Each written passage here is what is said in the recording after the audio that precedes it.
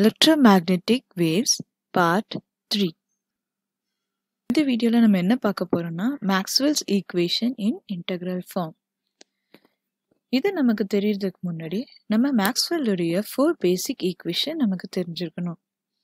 First ஒன்று behaviour of charges second ஒன்று behaviour of current third ஒன்று behaviour of electric field fourth ஒன்று properties of magnetics இந்த four ஈக்குவேஷனும் can be written in integral form or derivative form இந்த integral ஃபார்மில் இன்னைக்கு நம்ம எழுத போகிறோம் டெரிவேட்டிவ் ஃபார்மில் நம்ம எழுத போகிறது கிடையாது. ஏன்னா இந்த டெரிவேட்டிவ் ஃபார்ம் எழுதுறதுக்கு நிறைய மேத்தமெட்டிக்கல் ஆப்ரேஷன் நமக்கு தெரிஞ்சிருக்கணும்.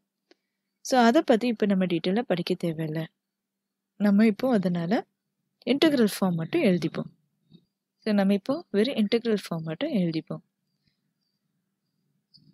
ஃபர்ஸ்ட் ஈக்குவேஷன் இது எதுலேருந்து எழுதியிருக்கோம்? காஸ்லேருந்து close integral E dot dA is equal to q enclosed by epsilon not so இந்த ஈக்குவேஷன்லேருந்து நமக்கு என்ன தெரியுது? There will be a continuous distribution of charges second point என்ன தெரியுது?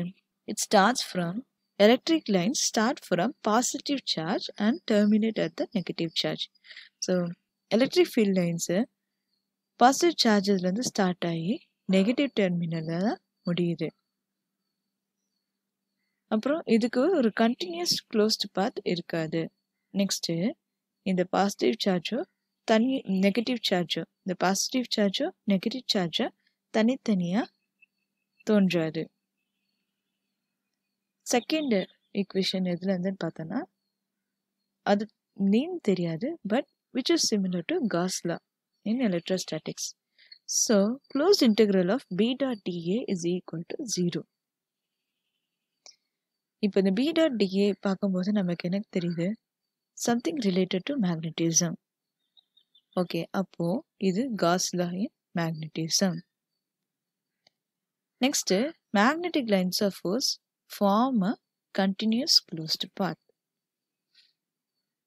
இது கீழே வந்து அதுக்காக தான் உங்களுக்கு mag magnetic lines of force உங்களுக்கு ட்ரா பண்ணி காமிச்சிருக்கேன்.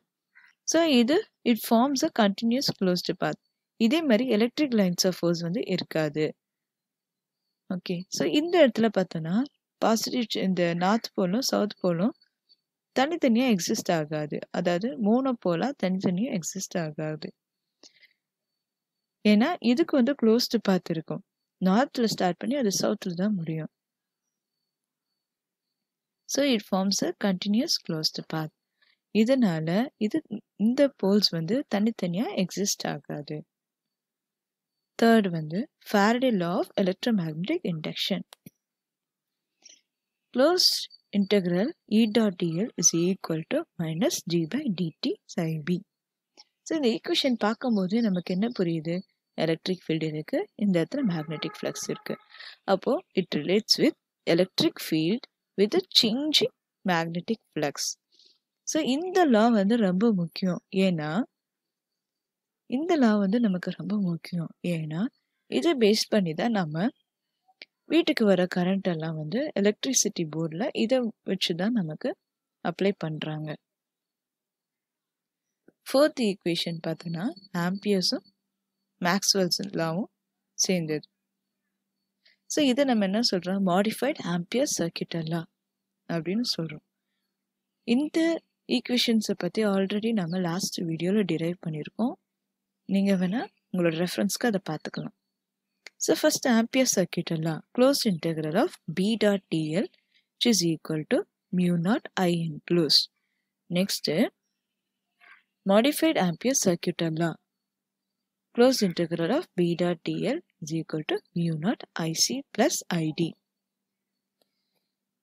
இதை இப்போ தனித்தனியாக எழுதிக்க போகிறோம் mu not IC plus mu not ID next இந்த ஐடியோட எக்ஸ்ப்ரெஷன் நம்ம லாஸ்ட் வீடியோவில் நம்ம கண்டுபிடிச்சிருக்கோம். அதை எடுத்து நம்ம இங்கே அப்ளை பண்ண போகிறோம் so mu not IC plus mu not epsilon not d psi by dt இப்போ இந்த சையோடைய வேல்யூ நமக்கு தெரியும். அதை நெக்ஸ்ட்டு ஸ்டெப்பில் நம்ம அப்ளை பண்ணுறோம் So we will get close integral of B dot dl which is equal to mu naught I plus mu naught epsilon naught d by dt close integral over the surface area E dot ds. So இந்த equation நம்ம பார்க்கும்போது நமக்கு என்ன தெரியுது magnetic field relates with the conduction current or the displacement current. So this law relates the magnetic field around any closed path to the conduction current and displacement current through that path. Thank you.